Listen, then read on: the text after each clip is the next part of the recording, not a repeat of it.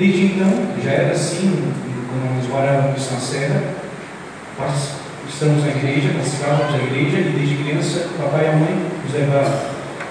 E, e ele recordo a minha primeira Eucaristia, em junho de 1997, graças a Deus, Padre Gabriel. A primeira vez que eu servi como coroinha, em 12 de outubro de 1997, me lembro assim. É, tantas missas, batizados, depois os serviços na liturgia, como coroinha, tantos anos, depois como coordenador, que a irmã Maria José deixou esse cinco meses, ela ajudava, na época ajudava Luiz Carlos e outros, depois fui coordenador com David, com, com, com Paulo Alberto, e depois a liturgia, tanto trabalho no coral, eu dizia, eu dizia uh, ontem no Gerisate, nós não éramos, era mais amor do que dom, eu acho, na música?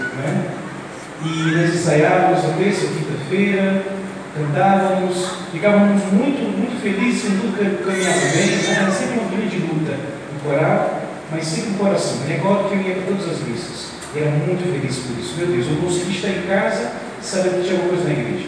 Era uma coisa que mexia no meu coração e assim, assim era e assim é. As coisas de Deus mexem no meu coração, me incomodam, né? a minha vida, meu amor, nosso Senhor, e tenho essa clareza desde criança. Senhor, meu amor, e continuo devolvendo a minha vida a Ele e vou fazer isso até, se, eu, se Deus me permite, até o último segundo da minha história, toda a minha vida é, é e será para o Senhor. Em 2006 eu fui para o seminário. Fiquei lá na preparação durante os sete ou oito anos necessários. Em 2013 eu fui ordenado diácono em julho, 5 de julho de 2013, e no dia 23 de dezembro foi dado padre. Dez anos se passaram desde aquele, aquele, aquela segunda, segunda terça-feira de 9 de dezembro, aquele 23. E vejo como o tempo é, é, é, é quase, todo mundo fala, fala isso, mas é verdade, o tempo passa muito, muito, muito rápido. E fico feliz porque são 10 anos muito, muito amplos, um tempo muito fecundo. Né? Fui enviado para Pindoretama, fiquei lá dois anos como diácono, depois fui para seis anos e oito meses. Lá em Bonancés, um lugar que eu muito, né? um lugar que tanto trabalho. Bonancés é um distrito entre Cascavel e, e, e Pacajus. Mas Deus tem seus planos, não é? E vejo que Deus fez comigo. Me tirou lá de Bonancés, aquele interior, e me enviou em missão para estudar. Agora estou morando em Roma. Já um ano e três meses morando um pouco mais distante. Não dá para vir em casa na segunda-feira, né? E vim aqui agora porque meu pai e meus pais fizeram esse pedido celebrar os 10 anos aqui com eles, com minha, com minha família, com os amigos mais próximos. E, e depois de tudo, desses anos todos, eu posso dizer? depois de tanto trabalho, agora esse novo trabalho um pouco mais distante, mais longe, que é árduo, mas é meu privilégio estar tão perto do Santo Padre, ter tantas experiências belas, poder aprofundar o estudo, poder estudar mais, é uma grande graça. Nunca é, que aí eu dizer para vocês de todo o coração, porque vocês sabem isso minha família, apesar de ter crescido no Gerissati, mas minha paróquia é Nossa Senhora do Perpétuo Socorro, Gerissati, Timbó. Não esqueço disso. Então eu cresci também com vocês, tantos que me viram já criança, depois adolescente, jovem, agora me veio um pouco mais maduro, não é? Um pouco mais maduro, né? com outro tempo. Com, com menos cabelo, com mais cabelo branco, não é?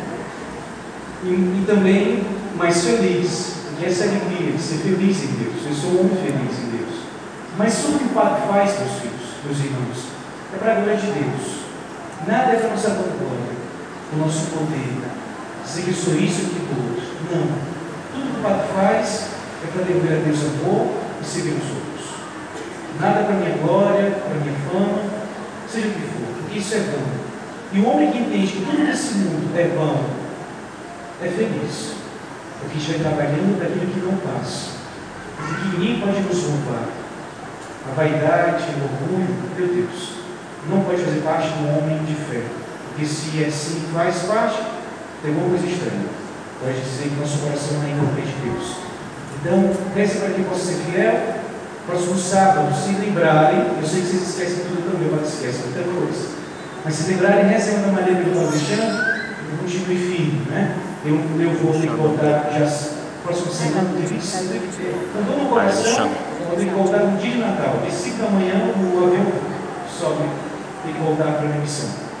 Então, reza por mim, pela minha vida, e eu quero dizer de todo o coração, muito obrigado pelo coração de tantos, que mesmo diante de tantos é, desencontros nesse caminho existem, né? Porque vida de família sempre tem desencontros, não é verdade? É. É, também assim da igreja. É verdade. Existem desencontros, desavenças, palavras malditas, né? Mas Deus tudo cura. Deus perdoa, gente tem que ir para frente. A gente não pode ficar agarrado com aquilo que não presta.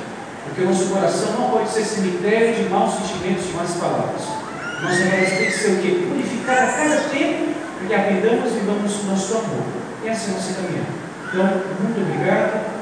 Deus Pai por tamanho amor, especialmente aqueles que nesses anos todos me olharam sempre com esperança, carinho, dizendo assim, ah, eu vi você quando era criança, menor, com todo carinho, muito obrigado. De todo coração, muito obrigado. Mario.